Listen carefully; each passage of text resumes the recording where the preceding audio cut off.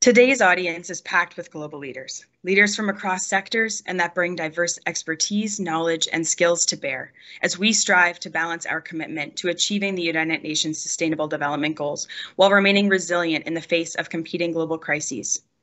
At REACH, we believe this work can only be done by strengthening international partnerships to achieve global reach, by reinventing student education to accelerate their development and position them for impact, and by having the awareness of the places that we occupy so that we may consider how to better embed ourselves in the communities and the projects that we engage with.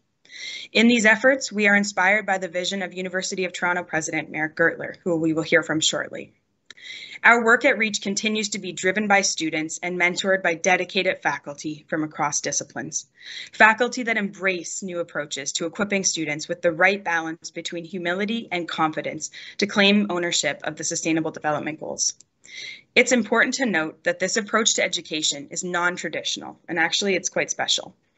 Now, speaking of special, I want to take a moment and introduce to you Joseph Wong the Roz and Ralph Professor of Innovation at the Munk School of Global Affairs and Public Policy, and the Vice President International at the University of Toronto. Joe also founded the Reach Alliance in 2015. Since then, Joe has been focused on providing a transformative experience for students, not only here at the University of Toronto, but also for REACH student researchers across the Global Reach Alliance network. His vision for student leadership and his belief in the power of this generation to achieve the Sustainable Development Goals has inspired a global movement. The work we do is powered by the extraordinary people on the ground, at the front lines, those that are reaching the hardest to reach. The impact that REACH catalyzes is through our alumni. REACH alumni, simply put, are impact players. They are dogged in their approach and accelerated in their pursuit when it comes to achieving the Sustainable Development Goals. You'll hear from many REACH alumni over the next two days, and I encourage you to listen actively. These are leaders that are unparalleled in their understanding of the Sustainable Development Goals, global fluency, and capacity to engage with stakeholders from all sectors. They are skilled at asking questions and translating data into actionable insights. Listen to them, connect with them, engage with them. Our alumni directory is available in the chat so you can see where folks are. Although I'm going to just tell you many of them are spoken for by leading organizations already around the world. So act fast if you'd like to recruit someone from the REACH network. Here at REACH, we generate actionable insights about what is working and why. This year, we launched seven new case studies, including two case studies produced by our global partners at Tec de Monterrey and the University of Oxford. We will highlight key insights from the research over the two days through brief case study videos. What's different this year is that we've begun asking the question, what can we understand and learn across a range of case studies about a particular thematic area?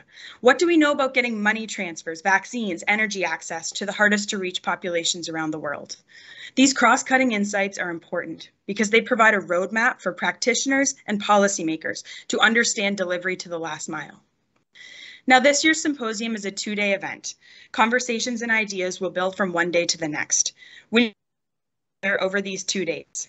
I'm challenging each of you to pose a question in the chat, share an idea that you will take back to your respective organization, or to connect with one of our amazing REACH alumni.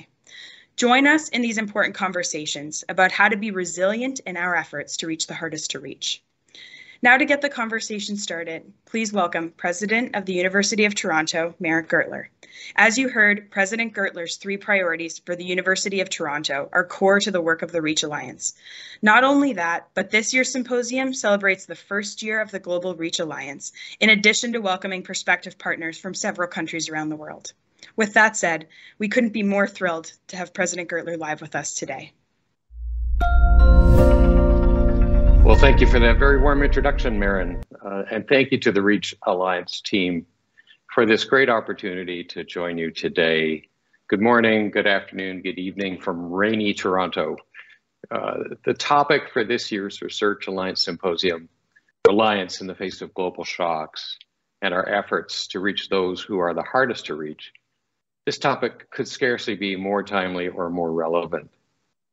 The human catastrophe unfolding in Ukraine is spawning or exacerbating global challenges on a massive scale.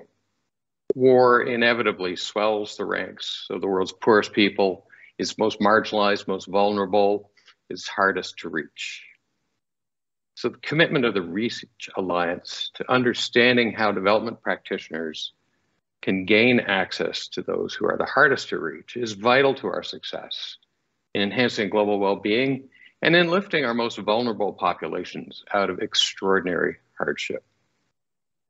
When REACH was founded at the Munk School of Global Affairs and Public Policy back in 2015, its guiding premise was that reaching the hardest to reach would require interdisciplinary learning, inquiry, and collaboration.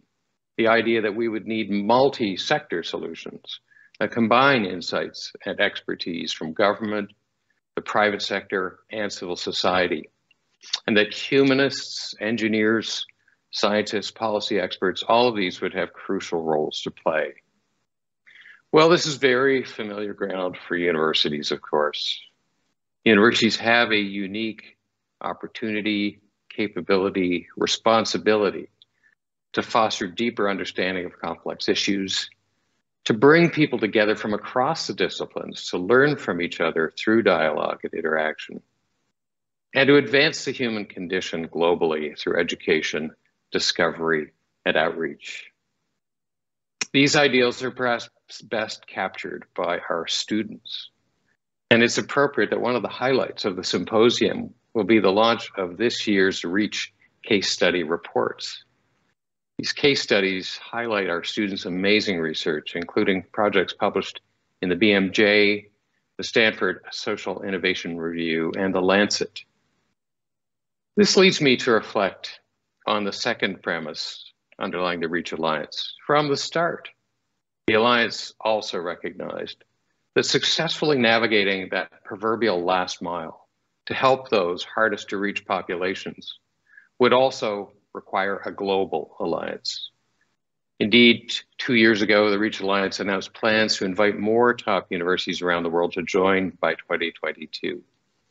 So at this year's symposium, in addition to featuring contributions from REACH's current partners at Tec de Monterrey, University College London, and the University of Oxford. The Alliance is welcoming prospective university partners from the University of Cape Town, Singapore Management University, SSC University, and the University of Melbourne. which is now a truly global alliance, bringing together hundreds of thought leaders and action leaders from around the world, from multiple disciplines, and from across the private, public, and third sectors. In that sense, this symposium's impressive and ambitious agenda is entirely fitting for such an alliance. Let me conclude by acknowledging the visionary and vital support from the MasterCard Center for Inclusive Growth, which has been part of this initiative from the beginning. Their support has been absolutely vital to the success of this great endeavor. I'd also like to thank my friend and colleague, Professor Joe Wong, and his team for their remarkable leadership and work to bring this great alliance to life. And finally, let me wish you all a stimulating and successful symposium. Thank you very much.